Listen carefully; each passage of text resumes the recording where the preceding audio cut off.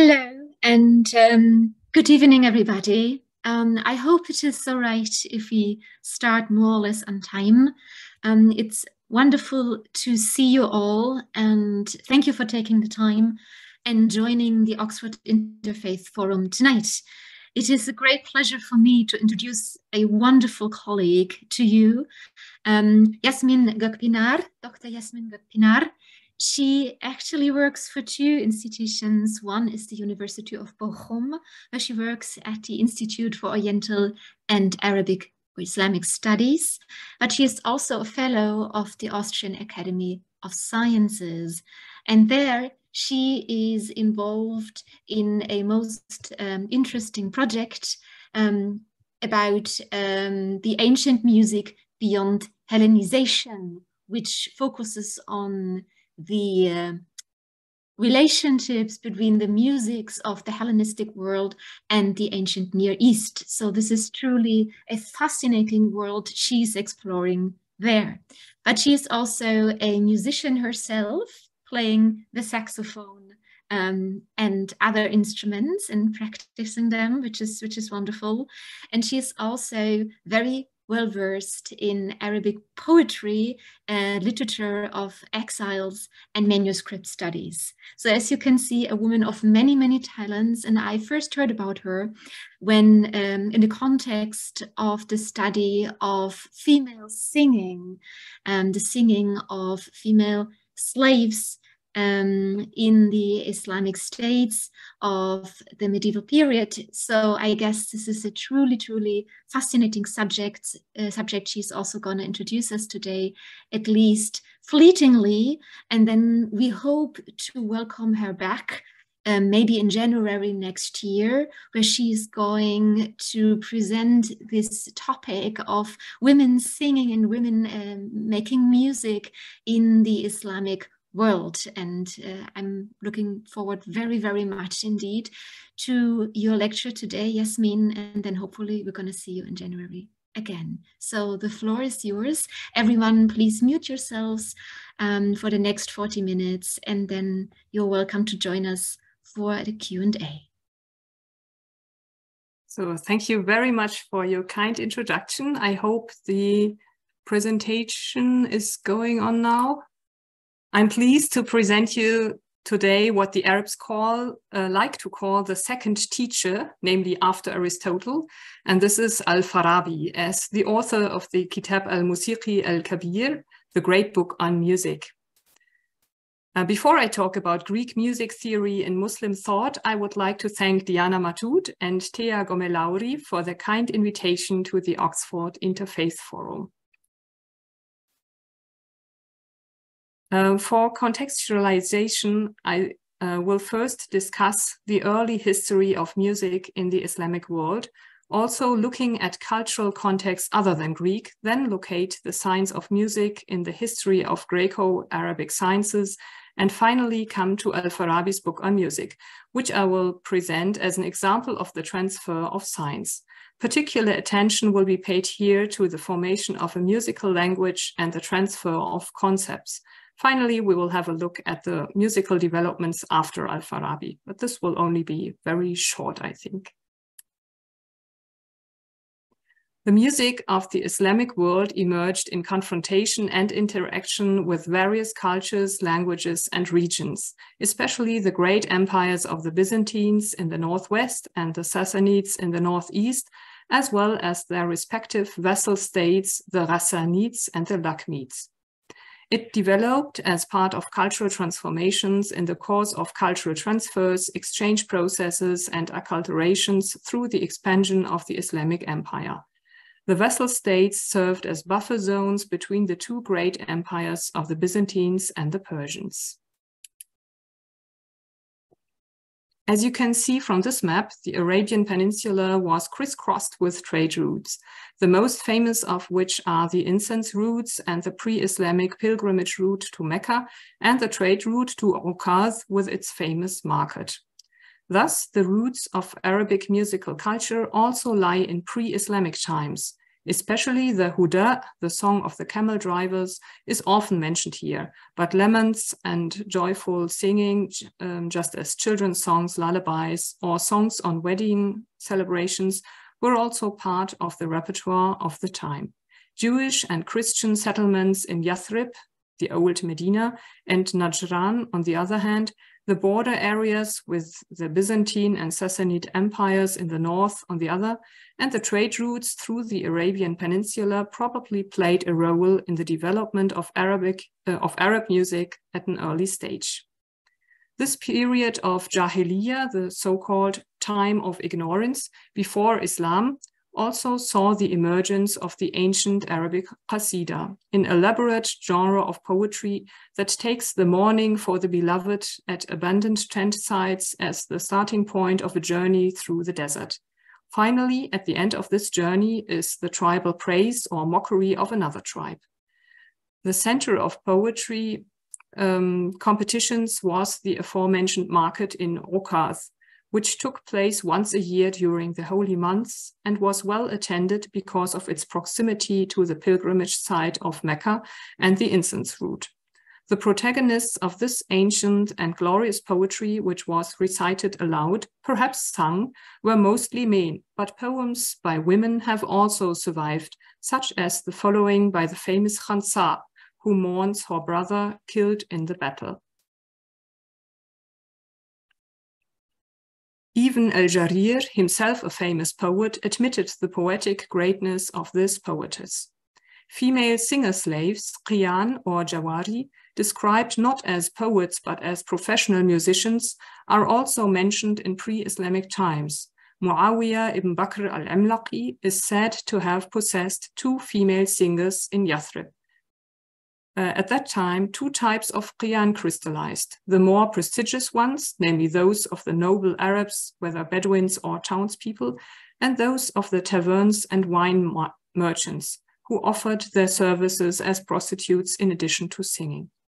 We know from literature that in addition to female singer slaves, there were also free female singers as early as the Jahiliyyah and later in Islamic times. At the beginning of the Abbasid period, there were princes as well as princesses who devoted themselves to music. However, the restrictions imposed on women since that time drastically reduced the number of free singers, at least banishing them behind the walls of the harem. Singing schools flourished first in Medina and later in Mecca, attracting male uh, singers as well. These, unlike the female singers, were free, but were usually under the protection of a tribe or noble as Mawali, ward. The hapless Abbasid Caliph Ibrahim ibn al-Mahdi, who reigned only for one year, from 817 to 19, is the well-known exception. He was a poet and singer and founded a school of music that renewed and competed with the old conventional school of the Mawsilis.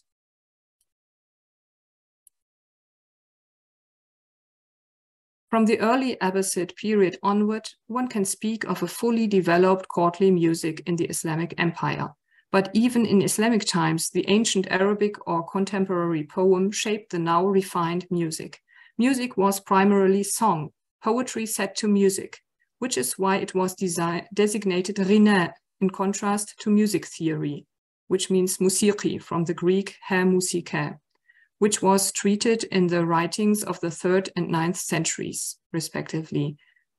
So the third is the uh, Islamic century, and in the following, I try only to uh, mention the the Christian one, so that you you don't uh, get confused, and me too.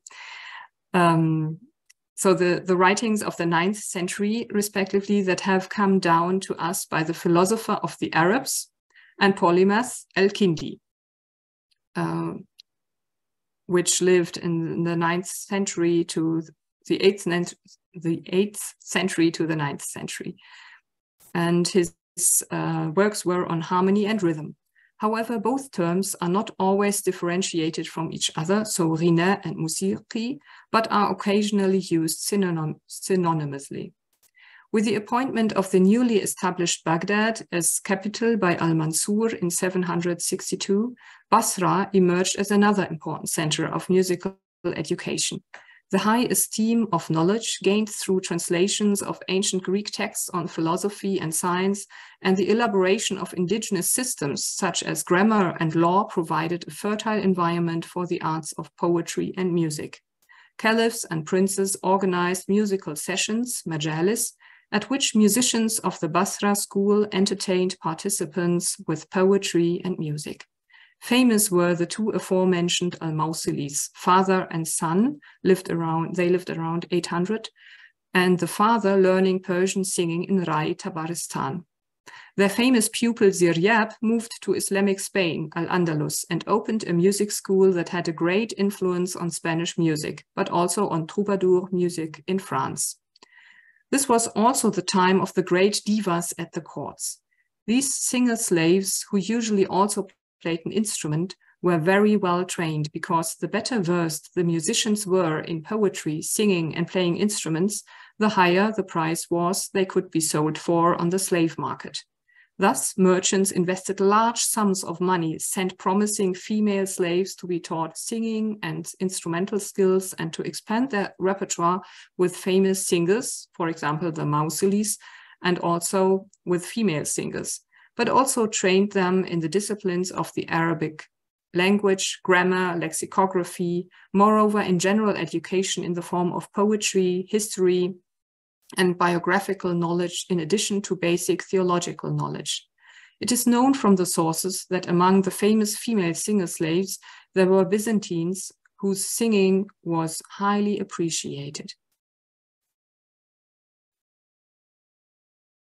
um, Ibn Fadl al-Umari of the 14th century praises the Byzantine singing slave girl Futun al-Adiliya and says, she could play different instruments. In competitions, we would say poetry slams, she helped others so that everyone estimated her poems. She astonished her uh, she astonished her audience greatly with her witty answers and her poetry. She was even depicted as shining example of her age. The poem that is cited here deals with wine and the invitation to enjoy the music, because everything on earth is transitory. Why did these quick-witted and in some ways powerful singer slaves exist for so many centuries in the courts of caliphs and princes? How could they write frivolous poetry and sing, even though the theologians railed against them? A plausible answer to this question seems to be Thomas Bauer's theory on the culture of ambiguity in Islam, which can also explain how a culture as foreign as the Greek one could leave such an impact on the Arab Islamic science. Um, I talked about the context via the trade routes before, but I think that the Greek culture uh, was uh, perceived as foreign, um, though. Against the background of a high tolerance for ambiguity in Islam, the diversity of sources and traditions can be understood as an enrichment of the views on events, persons, and texts. Thus, the use of poetry, for example, in a historical work is not contradictory to its historiographical claim. On the contrary, Poetic components not only ensure a high degree of memorability, but also complement and broaden the perspective on the narrated event, thus contributing to a greater number of possible interpretations. This tolerance of interpretation meant that even an imam attending a more familiar evening session with a caliph could appreciate a linguistically sound poem with beautiful pictures and metaphors and its setting harmon harmonious in rhythm and melody, even if the content of the poem was religiously frowned upon. The setting, private versus public, also plays a role here. As a theologian, he argued differently about the subject matter than he did in the evening session as a confidant of the caliph. This tolerance of ambiguity apparently applied to non-Muslims as well, to Christian and Jewish musicians as long as they were versed. The history of the older of the Al-Mawsilis with his Persian musical training also shows that transfer processes took place between different musical traditions and schools, between different cultures. This does not mean that minorities were not faced with problems. A certain Israel el-Yahudi is described by Ibn Fadlallah al-Omari as a successful and prolific musician. From the author's point of view, his religion was the only thing that prevented him from being the very best musician. From the perspective of his co-religionists, however, he betrayed his religion even though he studied the Psalms of David. At the same time, he tried to get rid of his dialect in Arabic. Thus, he stood, so to speak, between the cultures. The outlined tolerance of ambiguity in Islamic culture, as described by Bauer, could thus be one reason why ancient culture fell on such fertile Arab soil. In fact, the heyday of courtly musical culture coincided with a time when the translation movement from Greek had already emerged. For the first 100 years or so, the Arabs resorted to regional structures in the administration of their newly conquered territories. With the construction of the round city of Baghdad in 761 near the ancient Ctesiphon, the political and cultural center of gravity shifted eastward from Umayyad Damascus to the former Sassanid Empire, where Arabic language met Persian administration and court culture. This included Persian court astrologers, physicians, and surveyors employed at the Muslim caliph's court. These, among others, were already translating scientific works from Persian and Indian into Arabic. In addition to these professions, the center of Christian Syriac scholarship in Haran, Baghdad, and Ctesiphon should be mentioned by the councils of Ephesus in 431 and Chalcedon 451, Miaphysites had settled in Egypt and Greater Syria, and Nestorians had been displaced to the Sassanid Empire, where they proselytized along the Silk Road far to the east. The Aramaic-speaking Christian scholars took with them the knowledge of Greek antiquity from Alexandria and translated the text into Syriac um, Aramaic, as this language gradually supplanted the Greek.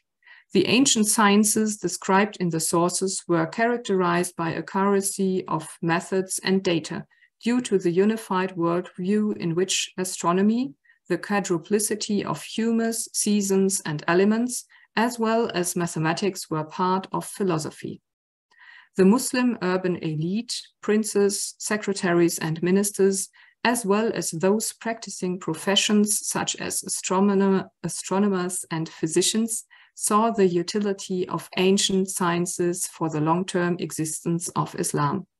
Patrons from the administration, principality, and caliphate had libraries and monasteries searched for Greek sources and commissioned translations in the um, 8th to 10th centuries. Thus, Tens of thousands of books were found in the libraries of Muslim courts, including the famous Abbasid library Beit al-Hikmah, founded by Harun al-Rashid. As you can see here, the books are lying and not standing as nowadays. Therefore, the title was often written in the cut as well. This is an early um, yes, manuscript of the Syriac translation by Hunayn ibn Ishaq of Euclid's Elements, with a Greek text in the margin. Hunayn ibn Ishaq was a physician and philosopher, and together with the logician Matta ibn Yunus and the mathematician Thabit ibn Qurra, among the famous translators of the 9th century. Well-known translations include the medical compendium by Dioscorides de Materia Medica and Al-Jazari's Risala fil Handasa uh, of the 13th century, and the Institute of History of Arabic Islamic Sciences has reconstructed several of the machines of this and other books.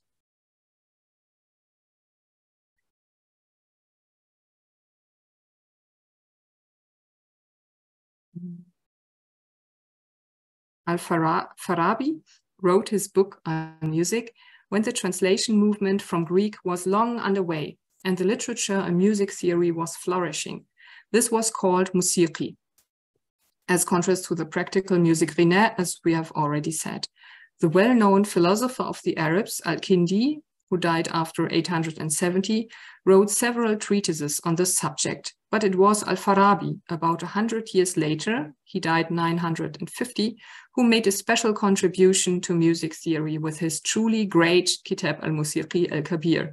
The edition we have is really heavy and has a, uh, more than 1,000 pages. Al-Farabi is widely known as a philosopher. Some of his writings, especially the enumeration of the sciences, Ihsa al-Ulum, but also works on logic, psychology, and Aristotelian physics, were translated into Latin around the 12th century, so that Al-Farabi, or Avennasar, as he was also called in Latin, became a reference in European Latin thought of the time. Little known outside specialist circles is the fact that Al-Farabi entirely in the tradition of Greek scholars also made music the subject of his thought. As part of the mathematical sciences, music is closely related to arithmetic, just as astronomy relates to and is based on geometry. Music can therefore be thought of as applied arithmetic. Here you can see the six known manuscripts and the most important editions and translations. And here we come to the structure of the Kitab al-Musiqi al-Kabir. Al-Farabi wrote his great book on music according to its preface for Al-Karkhi, the vizier of the Caliph Ar-Radi, to whom he wanted to explain the art of music. Such a dedication was typical when paying tribute to a patron. Al-Farabi's presumed patronage gave him the opportunity to define the science of music as part of his system of science, to categorize it, and to set forth all the aspects that he considered important and integral, integral to that science, namely the fundamentals of harmony, matters of rhythm, and melodic composition. However, he emphasizes that he has added a separate uh, chapter on musical instruments of his time, which the ancient Green Greeks would not have done.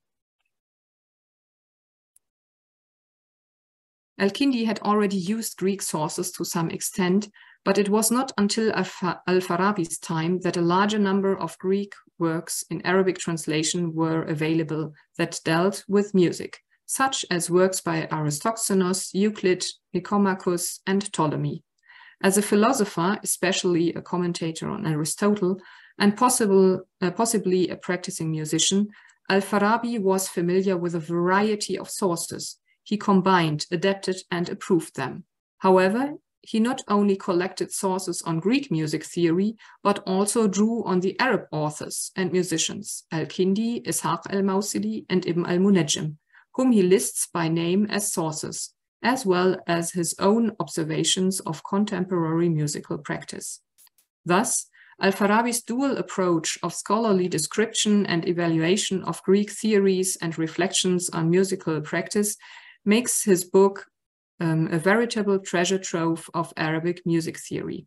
In what follows, I highlight three distinct points of how Al-Farabi deals with his Greek sources, citations, calques, and the adoption or further development of concepts. Apart from Aristotle, Themistios, Ptolemy, and Euclid, as well as the Pythagoreans, Al-Farabi does not mention his sources by name, and even these he mentions very rarely and not with every corresponding quotation. But here we have one of the literal quotations, namely by Themistios, in his paraphrase of Aristotle's Analytica Posteriora. Uh, then we also cite Themistios, who was known for his philosophical knowledge. He was one of the important followers of Aristotle and one of the leading authorities in the field. In one of his texts, he says, this was a quotation by Farabi, and now uh, the quotation by Themistios is coming. I know from my lessons with my teachers that the tone called proslambanomenos, uh, al-mafruda, is consonant to the one called mese al-wusta. But I'm not capable of perceiving their consonance because I have only little training in it. Oh.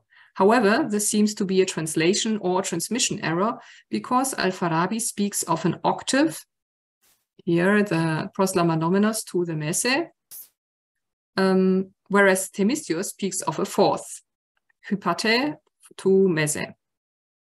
Perhaps Al-Farabi or a translator or a copyist intentionally changed the text because he thought Themistius could hear a fourth, uh, and it is quite more difficult to hear the difference between an octave than that of a fourth when playing the marginal notes at the same time.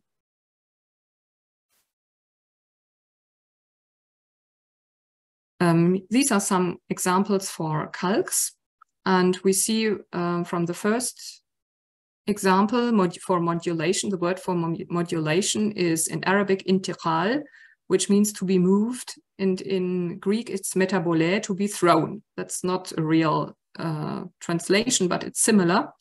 But if we have a look at the words for high pitch and low pitch, then we can we come quite near. Uh, hidda and thiqal are the nouns. And in the Greek, we have the um, adjectives, hidda for sharpness and oxys for sharp, thiqal for heaviness, uh, and barus for heavy. Then the musical function is translated uh, in Arabic by the word of kuwa, and this translates the Greek dunamis, and both have the meaning of power and strength. And uh, the, the last two examples for the intervals of a fourth and an octave, alezi bil arba, uh, that with or by the four, and alezi bil kul, that with or by the whole, um, is a, a, literal translation of the Greek, um, yeah, of the Greek uh, diatessaron and diapason. And this is uh, very interesting because the correct expression in Arabic is dhul arba'a and dhul kul. Um, the normal way to refer to possessions is uh, to say um, the uh, the owner of the four and the owner of the whole. This would be typical Arabic um, term for translating diatessaron and diapason, but uh, here the literal translation is used. Um, what might be of interest is the word kua, literally power, strange, as translation of the Greek dynamis in philosophy, usually translated as potency. Uh, these are two paragraphs of the great book on music in the chapter on wind instruments, Mazamir. Their gamut are described in terms of tones on the lute. On this picture, you can see the names of the fingers at the top. Uh, little finger, I don't know, do you see my, um, my mouse? Oh, you can see the um, at the top, the fingers and uh, the names of the four strings on the right. Uh, the bum is the lowest string and the intervals between the open strings are fourths. Tone B is the open string in the text and tone H, uh, the index finger. I quote Al-Farabi. On this mizmar, there is an octave between the tones B and H if we identify the tamdid of tone B with the tamdid of the open methleth string, or if we identify it bilquwa with the tone of the open methleth string, tone H will be the tone of the index finger on the zir string. And the other uh, example, if we identify, this is uh, marked as the black points here in the drawing. And now um, come the, the orange points. If we identify, or the spots, if we identify tone B with the tone of the open bum string, tone H will be the tone of the index finger on the mathna string. And in general, if we identify tone B with any tone on any instrument, either by identifying it with a tamdid or bilqua, tone H will be the upper octave of that tone on that instrument. Obviously, the difference between tones on the lute and musical function is pointed out here. In a philosophical context, one translates kua as potency, but here musical function fits better since the interval is thought of without regard to the used instrument. That leads us to another concept, namely that of tamdid, from what we have just read, one might conclude that tamdid means the position of the fingers on the fingerboard. But is this correct? Is it? Thesis, the position, or tasis, the pitch. Al-Farabi says, the state of any tone in any transposed system, be it low or high in pitch, I mean its state in any low or high pitch is called tamdid.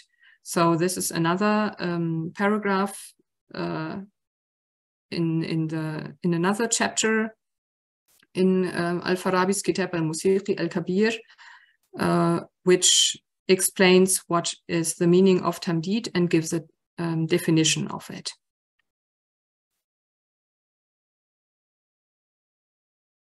This is the third example of how Al-Farabi deals with Greek concepts, um, and it can be seen in the chapter on tetrachords from the book on the elements of music. In it, Al-Farabi writes about the tonal relationships within a tetrachord. Tetrachords are components of tonal scales, two of them plus one tone forming what is called a group, jama'a, Greek systema, or a musical system, simply. As is well known, a tetrachord uh, consists of four tones, and they are named with the letters of the abjad alphabet here. Abjad is the old um, Arabic alphabet with three intervals. And these intervals can be given as a ratio when a string is divided. I would like to present you an example of what Al-Farabi calls a soft jins, which means one of the three intervals is larger than the other two combined. This is known in Greek music theory as pyknon, dense. In Greek music theory, these are the enharmonic and chromatic tetrachords. So first, Al-Farabi categorizes the tetrachords and then lists all the compositions of tetrachords. On. Thus, for each interval, he relates the length of the fretted strings. As an example, you see the regular non-consecutive soft tetrachord here. This is how um, Farabi calls it. Since the fourth is in the ratio four to three, the uh, Al-Farabi takes the next smaller interval for each tetrachord, those shown in the first column, 5 to 4, 6 to 5, and 7 to 6. So the first column from up downwards. Yes, the interval remaining when subtracted subtracted from the fourth for 4 to 3 minus 5 to 4 is 16 to 15. Uh, so this is then divided by approximately two, adhering at least to a large extent to the principle of epimoric uh, ratios. Where did Al-Farabi get his numerical ratios? Although he does not give his source for the chapter, Ptolemy is obviously the source. In the last column, you can see the passage in Ptolemy's Harmonics of Book 2, um, chapter 13. Other theorists, namely Didymos and Eratosthenes, quoted by Ptolemy had already mentioned two of these three types, but the last one was added by Al-Farabi himself. So the third tense, the last line in this table. And in the chapter on musical instruments, we see why. Referring to the regular non-consecutive soft jins, Al-Farabi shows how to play all three kinds of it on the tunbur Baghdadi, a long-necked lute, so he needs this last tetrachord, not only because this is the logical continuation of the previous tetrachord divisions, but also because this tetrachord was obviously played on this long-necked lute. We have here then an example of how a system was adopted at the same time as it was uh, further thought out and adapted to cultural characteristics. In this context, Al-Farabi does not matter about the fact that Ptolemy quotes Didymos and Eratosthenes in order to criticize them. He's using an ancient theory to theorize what he hears in his culture. Thus, we have a good example of transfer, but also of the creation of something new from two musical cultures, Ptolemy's tetrachord theory and the Arabic ghina.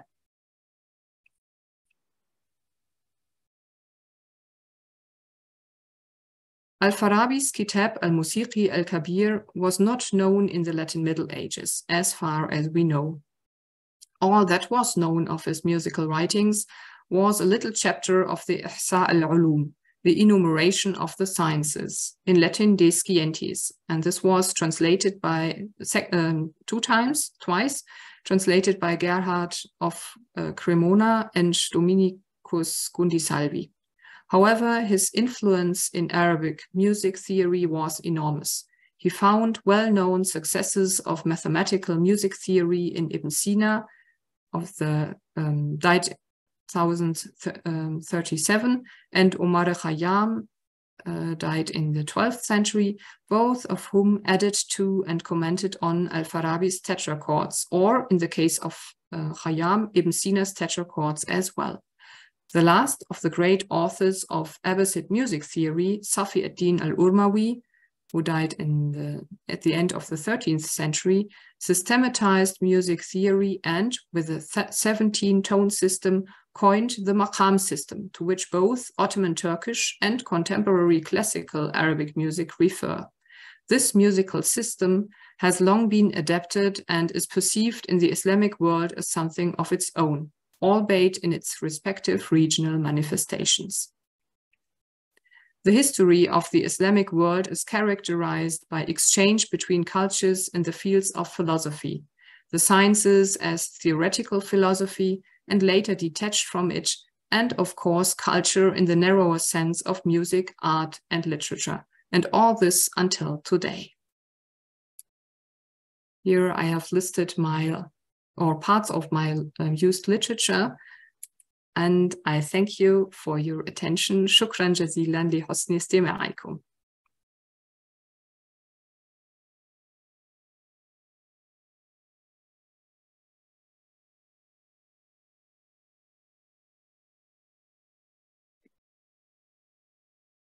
Yasmin, thank you so very much indeed. That was a fascinating tour through the transformation and transferal of knowledge from one culture to the next. Um, vastly fascinating. Let me just start with some very basic and, and minor minor questions. Um, so did I understand correctly that Al-Farabi himself did not read Greek? So he was dependent on Greek, on translations from the Greek, is that correct? Yeah, we don't have any information about this on this, and uh, it's always a question that uh, arises. Of course, uh, as far as I know, he did not speak and read, or at least he did not translate Greek texts into Arabic. Um, but I don't know if one can use the Greek uh, like he did without knowing any Greek. Also, mm-hmm. but I could imagine that he knows uh, that he knew one or the other word or expression or maybe more, but uh, we don't know uh, about any translation yet made himself. So I think he was dependent on translations. And um, as we know from um, Hunayn ibn Ishaq, because he has written about the translation process. He was one of these famous um, translators that uh, his translations, at least, and the ones of the mentioned uh, contemporaries of him, were really, uh, really precise and really elaborated. So maybe Al Farabi could write all those wonderful things without knowing any Greek word because of these great translations. Mm. Mm-hmm. Mm, interesting. Thank you.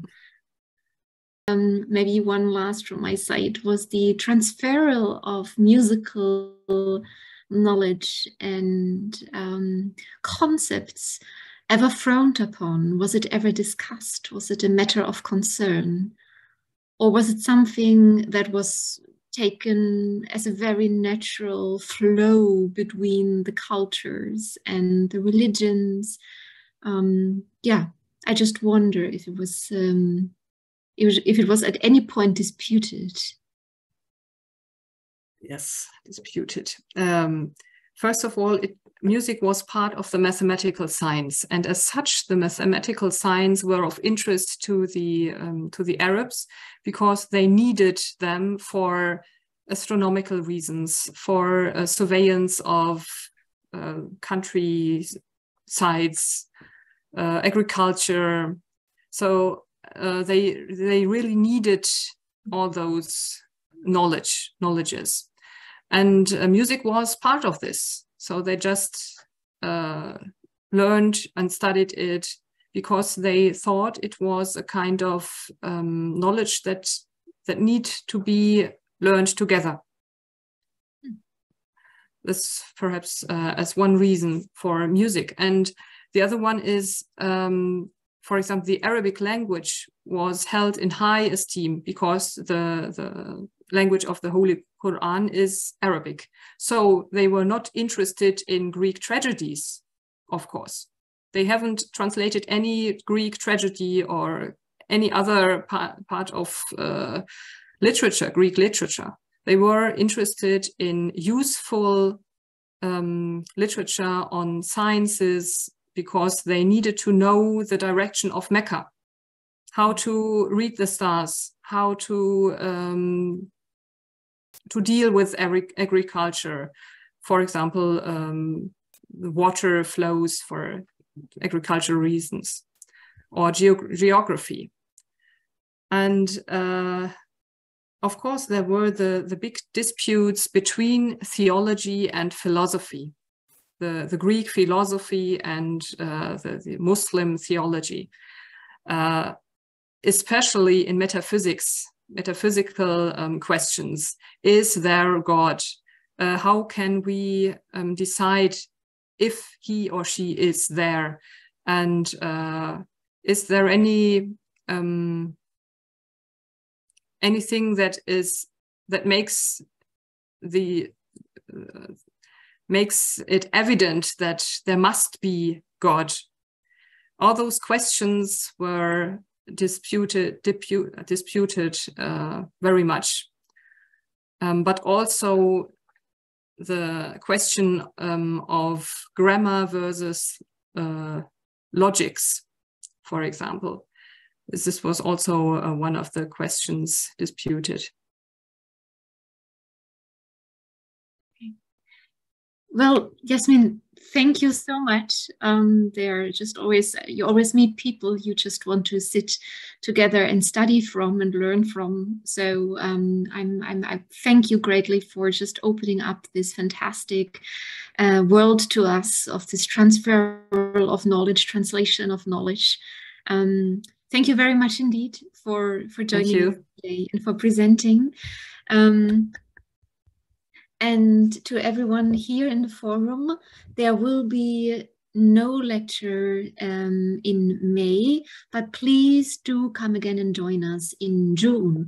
On the 15th of June, we're going to hear Professor Matthew Milliner um, on the Tau of Mary, images of the Virgin in the Church of the East. So for those interested in these um, literary um, um, traditions and iconography, please join us. And I'm going to put the, um, the link to our next um, event in the chat again.